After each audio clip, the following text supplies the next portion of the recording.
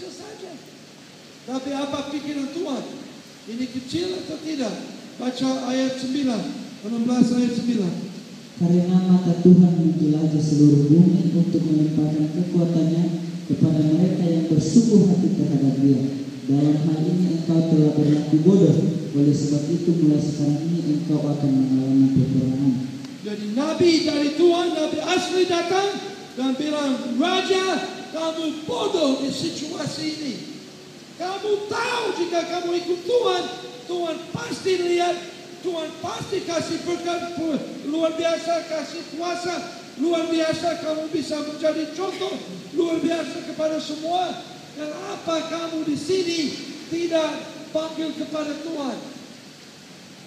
Kamu bodoh dan sekarang hukuman mau datang kepada kamu. Dan satu tanya yang besar sekali untuk setiap hamba Tuhan. Ada di sini yang mau menjadi hamba Tuhan. Apa tanya yang besar? Kamu bisa menerima hukuman seperti itu atau tidak? Itu besar. Dan ini asal orang luar biasa. Tapi dia masih salah. Ya, saya ada banyak dosa di dalam saya. Saya pikir ada di sini yang ada dosa. Di dalam kamu bisa menerima. Jika orang atau jika firman Tuhan bilang itu dosa. Itu tidak berkenan kepada Tuhan di dalam kehidupan kamu. Dan ini kesempatan luar biasa untuk. Apa yang dia bisa bilang kepada anak? Hei, Yehoshaphat, belajar dari ini. Saya, ayahmu salah sekali. Dan saya dapat hukuman. Jika kamu ada situasi sama ini, jangan panggil yang tidak sama Tuhan. Jangan panggil yang lawan Tuhan. Jangan ikut yang lawan Tuhan. Karena itu dosa besar di dalam mata Tuhan. Dan kamu bisa dapat hukuman yang besar. Belajar dari ini. Siapa tahu kami bisa belajar lebih banyak dari salah kita daripada sukses. Ada yang tahu itu? Kami bisa belajar banyak sekali dari yang salah. Dan asa bisa belajar dan bisa kasih gratis belajar itu kepada Josephat. Saya tidak ada waktu untuk baca, tapi jika lihat Yehoshaphat hampir tidak masuk pasal 20. Dia hampir mati di dalam pasal 18. Sebelum itu karena apa? Karena dia belum mengajar dari asa, salah asa. Dan dia sendiri apa?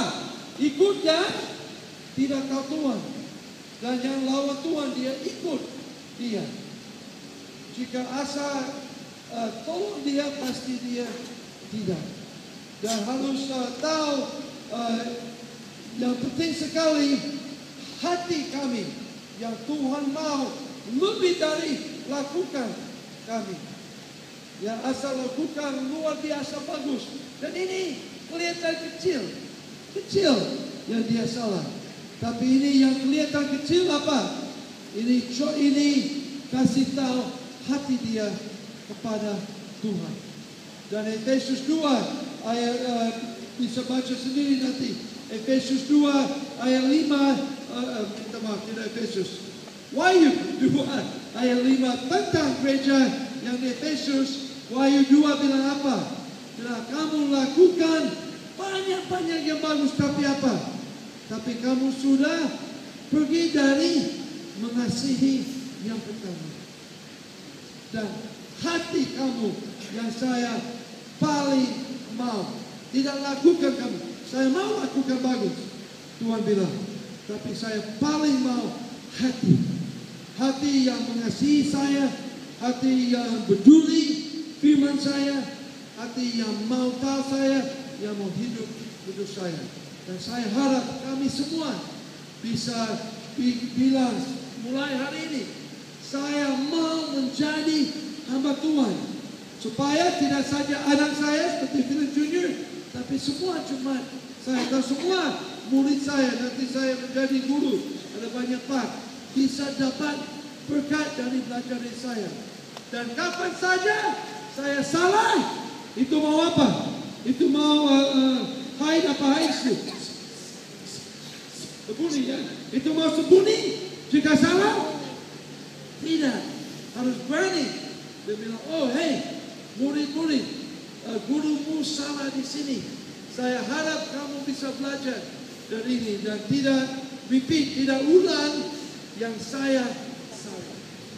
Seperti Asa di sini tidak bilang itu kepada Yehosafat. Yehosafat hampir mati sebelum bisa masuk ke dalam pasal 20. Mari kita berdoa.